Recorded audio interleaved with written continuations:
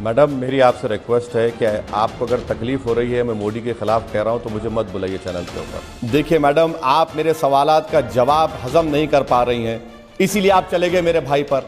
आप डिबेट मेरे भाई पर कर रहे हैं तो उनको बुला लीजिए मैं चला जाता हूँ। चलिए आप उसको प्रू, गलत प्रूफ कर दिए सऊद्दीन ओवैसी को।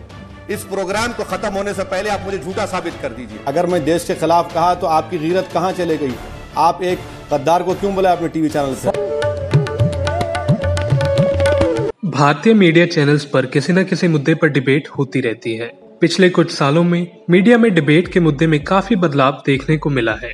एंकर्स भी डिबेट में सत्ता पक्ष के नेताओं की बजाय विपक्ष पर उंगली उठा रहे हैं। पर कुछ नेता ऐसे भी हैं जो इन मीडिया एंकरों को उल्टा जवाब भी दे देते हैं। हम बात कर रहे हैं ए आई एम आई एम नेता असुद्दीन ओवैसी की, जो अपने बयानों को लेकर अक्सर सुर्खियों में रहते हैं। आज हम उनकी कुछ डिबेट्स की बात करेंगे, जब वे मीडिया एंकर पर हावी होते नज़र आए। 2019 में जब मोदी इलेक्शन जीते, तब एबीपी पर ओवेसी जी का इंटरव्यू हुआ। जब एंकर रोमाना खान ने ओवेसी से मोदी की जाति को लेकर सवाल करने शुरू किए, तब ओवेसी भड़क उठे। और उन्हें बीजेपी का स्पोक्स पर्सन बता दिया।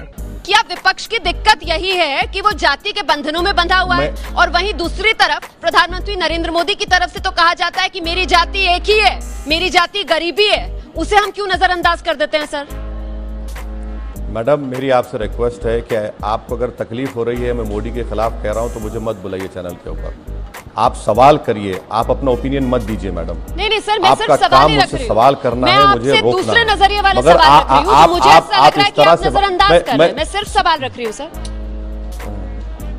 मैं नहीं नहीं मैडम आप देखिए मेरी आपसे बड़ी अदबन गुजारिश है कि आप बीजेपी के स्पोक्स पर्सन की तरह कह रही हैं। मुझे आप सवाल करिए मैं रात भर बैठने को तैयार हूँ। तकलीफ़ अगर आपको हो रही है तो इससे आप अपने आप को एक्सपोज कर रही हैं कि आप बीजेपी को चाहती हैं। मगर कम से कम एंकर का जो आपका रोल है, वो आप मुझसे बेहतर जानती हैं। मेरी आप, चलिए अब आपके सवाल का जवाब देता हूँ। मैं आपसे यही अर्ज़ कर रहा था कि तमाम पार्टीज़ करती हैं। कास्ट को सब इस्तेमाल करती हैं। इसमें कोई बीजेपी नहीं करती है, मत कहिए आप। बीजेपी भी करती है, ज़्यादा करती है। बीजेपी में प्रॉब्लम बीजेपी में एडवांटेज ये हो गया है कि वो कास्ट के कास्ट को हिंदू आइडेंटिटी से जोड़ देती है। आज तक पर सी ए एनआरसी के मुद्दे पर ओवैसी का इंटरव्यू हुआ। एंकर श्वेता ने ओवैसी से एनआरसी सीएए पर सवाल करने शुरू किए।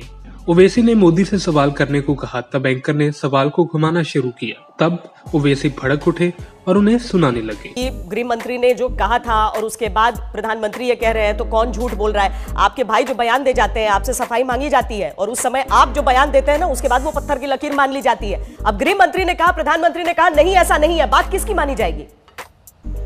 देखिए मैडम, आप मेरे सवालात का जवाब हजम नहीं कर पा रही हैं। इसीलिए आप चले गए मेरे भाई पर।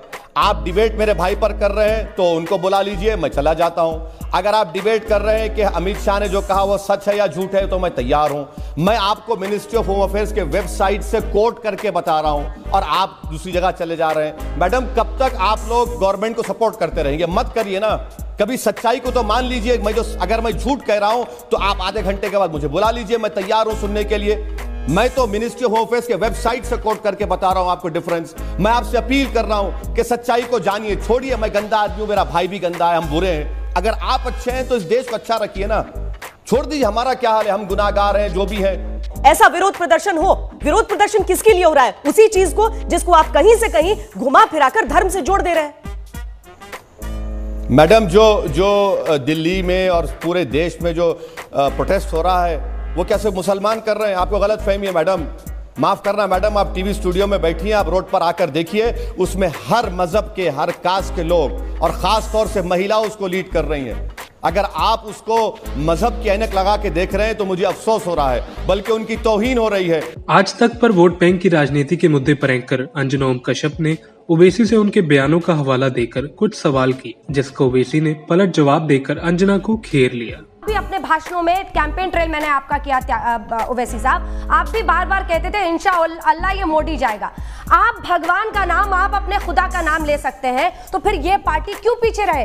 क्योंकि इनको भी लगता है कि इसी के ज़रिए हम अपने हिंदू वोटर्स को पोलराइज करेंगे। अगर मैं कहूँगा कि इंशाल्लाह अंजना ओम कश्यप और मशहूर हो जाए तो क्या आप कम्युनल हो गए? अगर मैं कहूँगा कि इंशाल्लाह मैं दोबारा एमपी बनूँगा तो मैं कम्युनल हो गया। लेकिन अगर, मैं बीजेपी का कोई नेता कहे कि जय श्री राम अंजना और पॉपुलर हो जाए तो वो तो- कम्युनल हो जाएगा। सुनिए- नहीं नहीं ओवैसी जी यही तो मेरा सवाल है कि अगर बीजेपी का कोई नेता ये कह दे कि जय श्री राम अंजना और पॉपुलर हो जाए तो वो कम्युनल हो जाएगा। फ़र्क मैं बता रहा हूँ आपको कंडेमनेशन में और हिपोक्रेसी में। फ़र्क ये है कि असदुद्दीन ओवैसी कातिलों के साथ नहीं खड़ा होता है।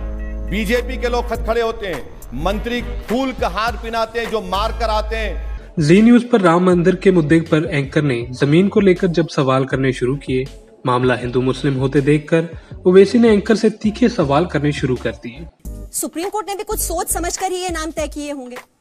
चलिए आप उसको प्रू- गलत प्रूफ कर दिए ओवैसी को। इस प्रोग्राम को खत्म होने से पहले आप मुझे झूठा साबित कर दीजिए। सुप्रीम कोर्ट ये चाहता है अगर देखिए आप- उन्होंने किसी एक के पक्ष में ये फैसला सुना दिया तो एक समुदाय में हमेशा खटास रहेगी।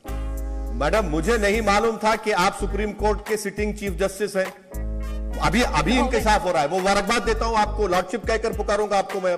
नहीं नहीं आप साहब। तो सुप्रीम कोर्ट की तरफ़ से आप बात कर रहे हैं। मैडम मुबारकबाद देता हूँ। मुझे नहीं मालूम था कि आप नहीं, नहीं, मैडम एक काम करते हैं ना चलिए आप मेरी गर्दन कटवा दीजिए। इतमान हो जाएगा सबको। कर लीजिए। मेरे जिसम के एक नहीं, पचास टुकड़े कर दीजिए। बीजेपी से मुद्दा चला जाएगा। कर दीजिए ना, मैडम। अगर अब इस, अब नौबत इस बात पर आ चुकी है तो चलिए हम तैयार हैं। अब क्या कर सकते हैं? क्योंकि आप ये कह रहे हैं कि गर्दन नहीं कटेगी। देखिए बनाएँगे दुनिया में ये मैसेज जाएगा कि हमारा देश कितना सेक्युलर है। जब रोहित सरदाना जी न्यूज़ में थे तब बिहार में एक विवाद को लेकर ओवैसी के साथ डिबेट हुई। रोहित सरदाना ने ओवैसी से उनके भाई को लेकर कुछ सवाल किए जिस पर ओवैसी भड़क उठे और रोहित सरदाना से सवाल करने लगे। आपको लगता है कि आपके केवल मीट पर दिए गए बयान मीडिया दिखाता है? आपके केवल देश के खिलाफ दिए गए बयान मीडिया दिखाता है? जब आप मुसलमानों की अच्छाई करते हैं तो मीडिया नहीं दिखाता।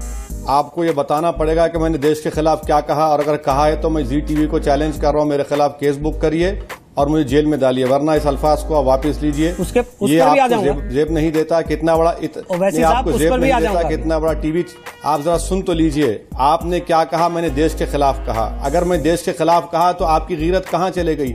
आप एक गद्दार को क्यों बुलाया अपने टीवी चैनल सर मेरा सवाल ये है। आप बताइए केस सर आप एक सांसद भी हैं? आप एक सांसद भी हैं। आप इस तरह की बात सांसद नहीं, भी हैं। नहीं हम हम आगे आप नहीं एक वकील भी हैं। नहीं हम आगे नहीं आप एक वकील भी हैं, हम आगे नहीं बढ़ सकते जब तक कि आप आप जब तक कि आप आप मेरा अपने भाई के बयान बयानों के जो मैंने साथ देश हैं के कि खिलाफ नहीं है? आप अपने भाई के साथ हैं कि नहीं है? उन्होंने जो कहा वो देश के खिलाफ था कि नहीं था? कैसा देश के खिलाफ है वो कोर्ट तय करेगा। आप कोर्ट हैं आपको लॉ ऑफ़ एविडेंस मालूम। आपको तो मालूम है ना आप तो वकील हैं इसलिए आप छुपा सकते हैं नहीं मुझे नहीं मालूम। देकर। मैं आपको चैलेंज कर रहा हूँ अगर आप में मर्दानगी है तो मुझ पर केस बुक करिए। आप चलिए मैं आपको चैलेंज कर रहा हूँ। आप आप मैं दिक्कत- आपको चैलेंज मैं, मैंने जो कुछ कहा कहलाना चाहते हैं बैरिस्टर जो कुछ कहा ओवैसी। ये थे कुछ वो डिबेट्स जब ओवैसी ने मीडिया एंकरों को सुनाया और सीधे मोदी से सवाल करने को कहा। हम भी यही उम्मीद करेंगे कि मीडिया सरकार में बैठे नुमाइंदों से भी सवाल करना शुरू करेगा और जनता की परेशानियों का हल निकालने में कोई मदद करेगा। Bureau report, Punjab today TV.